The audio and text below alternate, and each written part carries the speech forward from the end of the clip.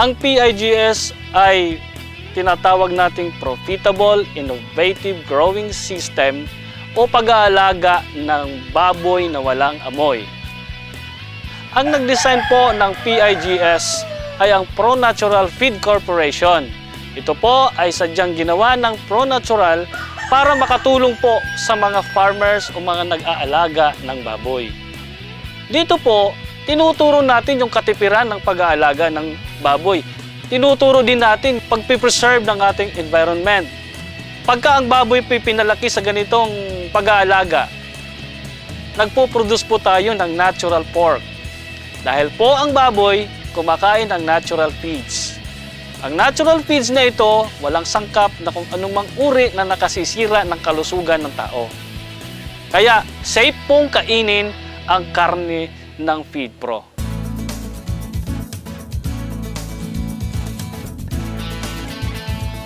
Sa pagsisimula po ng PIGS, maaari po tayong ah, gumamit ng mga materyales na nasa kapaligiran lang natin. Ang puhunan ninyo kung nag-aalaga kayo ng isampung baboy, maaari pong isang bahagi lang po doon ang inyong magiging puhunan. Kaya matipid po ang ganitong sistema. Sa pagtatayo po ng kulungan, tandaan po natin ah, ang mga mahalagang bagay na ito. Halimbawa, yung araw. Kailangan po nakaharap sa araw para sa tuwing umaga, mayroon pong pumapasok na init. Nakatutulong din po ang init ng araw para unang-una maging natural disinfectant. Pangalawa, nakatutulong po para bigyan ng lakas ang mga baboy dahil yan po ay source of vitamin D. Kung maaari, naka-elevate po para pagdali ng tubig, hindi po papasok sa loob ng kulungan.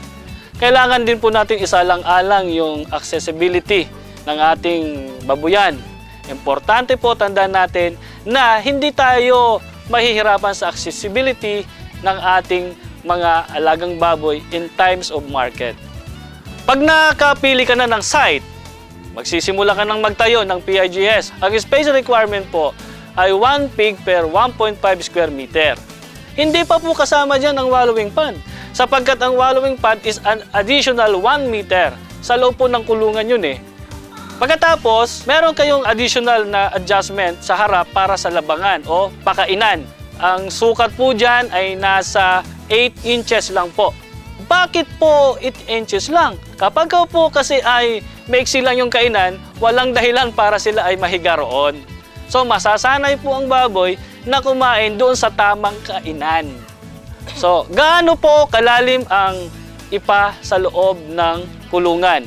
So ang pinakakapal po niyan ay dalawang pie. Pinaka minimum po diyan ay isang pie. Pinakamanipis na po yan. Unang-una, ang beddings po ay nagbibigay init sa baboy. Yung po ay nagsisilbing comfort zone nila. Dahil kung semento po yan, wala pong mararamdaman ang katawan ng baboy kundi puro lamig. At pag malamig po ang kanyang kulungan laging basa, yan po ang simula ng sakit ng baboy. Problema ng nag-aalaga sapagkat mauubos ang kanyang puhunan. Hindi tulad ng nasa PIGS, ang baboy hindi mo na siya paliliguan. Malambot ang kanyang higaan, nat natural ang kanyang lugar. So, namamanifest niya yung natural behavior ng hayop. So, hindi ka cruel sa animal, hindi mo ini-stress ang baboy, ang baboy ay nakapagsasagawa ng kanyang natural na buhay. Pagdating ng araw, kung i-market mo na, bibigyan ka rin niyan ng magandang kita dahil hindi mo siya pinahihirapan. Doon naman po sa wallowing pond, ang gamit naman po niyan ay upang ang baboy ay matuto na maglinis ng kanyang sarili. Ang mga dumi na dumikit sa kanyang katawan kung merong wallowing pond, kusang mawawala yon doon dahil malilinis siya dahil ang baboy ay maglulublob doon. Ang lalim po ng ating wallowing pond, pinakamarami na ay 1 to 2 inches lang po. Everyday po lilinisin ang wallowing pond. Huwag po tayong magpapatagal ng tubig doon and then ah, baka po magkaroon ng problema. Everyday po lilinisin yan. Ang benefits niyan, unang-una, cooling effect yan eh, sa baboy. Bawa pagka meron po ang baboy, ah, ah, naiinitan na siya. So may choice siya, pupunta siya sa wallowing pond. Then kapag ka na-relax ang baboy, tandaan ninyo, walang stress, nakakatulong yan para bumilis ang kanyang paglaki. Isa pa pong benepisyo ng wallowing pond para maibsan po ang pagdumi ng baboy sa ipa. Dahil po kapag ka ang baboy ay eh, merong wallowing pond sa kulungan, natuturuan sila doon magbawas ng kanilang mga dumi. Nagagamit po natin yung mga dumi ng baboy. Wala pong tapon yan. Nagagamit po natin yon bilang organic fertilizer. Bakit po nating nasabing organic fertilizer? Dahil po yung kinain ng baboy, natural feeds. Wala pong mga chemical yan eh. Wala pong mga antibiotiko yan. Wala pong animal byproducts at higit sa lahat, wala pong mga hormones yan na inilalagay. So, pag kinain po ng baboy, safe na feeds, of course, yung karne din nun na ipoproduce, safe din po. Meron po tayong ginawang filtration tank. Sa paggawa po ng filtration tank, eh, pwede po tayong gumawa ng mga tatlong tangke o higit pa roon. Ang sukat po nito ay mahigit isang metro ang lapad hanggang palalim o higit par paroon din. Ngayon, ang uh, ilalim po nito ay buhangin. At sumunod po na layer noon ay uling o coal. At yung pinaka nasa taas noon tatlo, ipang, pangatlong layer sa taas ay graba o gravel. And then, may tubo po yun sa ilalim. Doon sa unang tangke, pumapasok sa pangalawang tangke. Para doon po yung mga na-filter doon sa unang tangke na tubig, pagpasok doon, malinis na po yun sa pangalawang tangke and so on. Patungo na po yung kung ilang tangke man po ang ginawa natin sa filtration tank. Ang filtration tank po, ang benepisyo nito, malaking bagay po yan sapagkat ang tubig po roon na na-filter ay pwede pong ipandilig sa mga halaman o pananim. Ang dumi naman po na naipon doon sa filtration tank, sa unang tangke, ay pwede pong hanguin, ibilad, pad na tuyo, gamitin po as organic fertilizer. Ibig pong sabihin, pwede tayong mag-integrate o pumasok sa organic farming.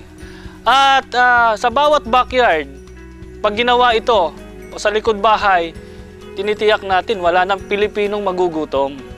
Dahil ito lamang po ang nakikita naming maaring maging solusyon sa ngayon, nakahirapan, lalong-lalo na sa ating mga kababayan. So, pag meron kang PIGS, yun po ang magbibigay ng source para sa ibang pagkakakitaan. Halimbawa po, yung ibang business na pwede nyong pasukin, ay pwede kayong magtayo ng inyong sariling meat shop. Natural pork na alam naman natin ay nakat tutulong sa kalusugan ng bawat kumakain ng baboy. Now, ano pa ang pwede nating gawin dito? Negosyo. Eh yung pong uh, dumi ng baboy, pwede nating uh, gamitin organic fertilizer. Ibenta nyo, another income po yan, bukod doon sa baboyan. Pwede ka rin gumawa rito ng vermiculture dahil yung mga dumi na yon, pwede mong ipakain sa bulate.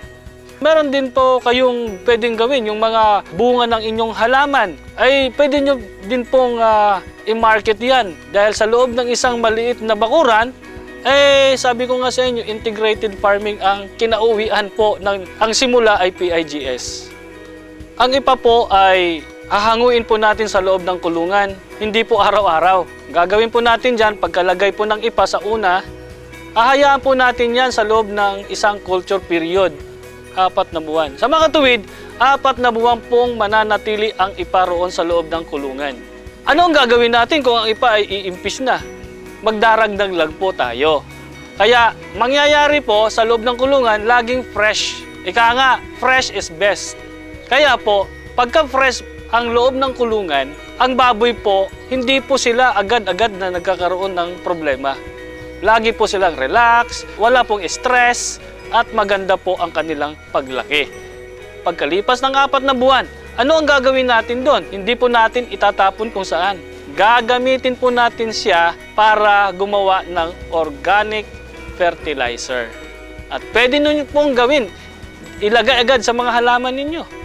At maganda po ang resulta niyan. Ang PIGS po ay hindi po mahal. Kasi po, ang tawag nga namin profitable. Hindi po tayo magkakaroon ng profit kung mahal po ito. Unang-una po, ang aming itinuturo dito na mga gamit ay indigenous materials. Tulad po ng kawayan, no? tulad po ng mga scrap na nandyan lang sa inyong kapaligiran na hindi nyo na kailangan bilhin. eh pwede po nating gamitin. Kaya hindi po mahal. Ang cost nga po nito sa paggawa ng kulungan ay higit kumulang sa isang baboy lamang. Meron nga po dyan, nagtayo ng PIGS, eh ang ginastos lang nila eh alambre lang, pantali. Meron naman po dyan nagtayo ng kulungan ng baboy na siyempre may budget, nila maganda. Doon po pumapasok yung tinatawag naming innovation. Kaya po, profitable, innovative growing system.